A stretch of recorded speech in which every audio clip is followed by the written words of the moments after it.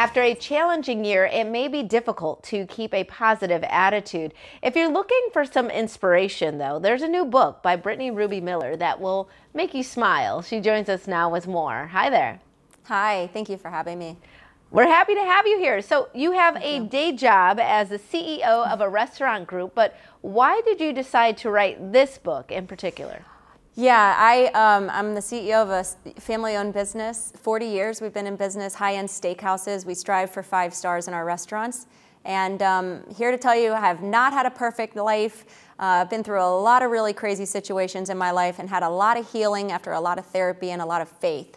And I chose to write a book because, uh, for many reasons, I wouldn't be where I am today without people sharing authentic, real life testimonies about healing, whether it's in their marriage. I, I, we dealt with infertility for a very, very long time.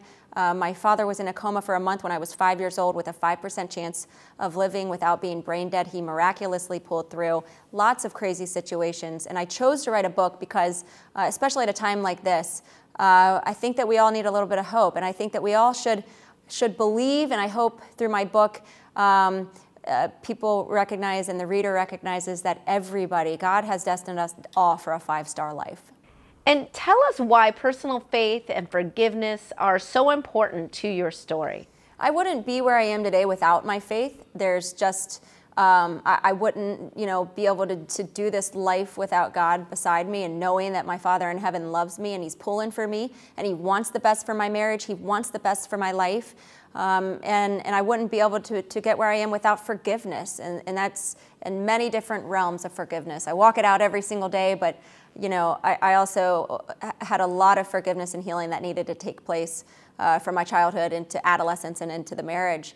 And, and so um, I, I'm thankful that I have a platform to be able to come on shows like yours and, and, and, and put out a book that really the, the only motivation for this book was to put my story out there to hopefully help others. And can you please share some of the lessons that you hope people will take away from this book? I think surrendering, knowing that it's okay to have a messy life. And people would look at me and think that I've got a perfect life, and, and my life was handed to me on a silver platter. And really, uh, my life was crumbling right before my eyes, and, and my husband's as well, and, and my family. And so I think, you know, I think when people see other people going through trauma, especially those who might uh, appear to have uh, a perfect life, um, it brings hope. And so after recognizing that it's okay to have a messy life and and surrendering to that, I hope that people can read my book and, and believe that God has a five star life for you. And even in the middle of chaos uh, in this world, you can be positive and you can have joy. And what are some of the things that people can do to start them on the path towards their own five star life? I think the first thing is believing that you deserve it. And I think there's a lot of people who don't believe that they deserve the best life has to offer. And I think there's a lot of people who have been wronged by people. And so learning about forgiveness and how it sets us free, I put all these tools in the book. Um, I have had countless, even inpatient therapy, uh, psychiatric therapy, lots of therapy that I share a lot of those tips in the books uh, to hopefully give people tangible tools, uh, life skills that they can learn uh, through our experience. All right, and where can we get our hands on this book?